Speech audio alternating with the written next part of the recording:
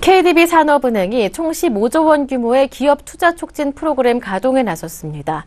지난달부터 시행된 기업 투자 촉진 프로그램은 산업은행과 민간이 대형 프로젝트의 리스크를 분담함으로써 기업들의 투자를 유도하는 금융 지원 프로그램입니다.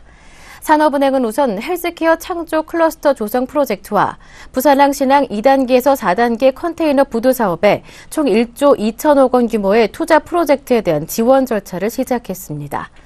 산업은행은 향후 기업 투자 촉진 프로그램에 추가 수요를 발굴해 정부의 경제 활성화 정책을 뒷받침할 계획입니다.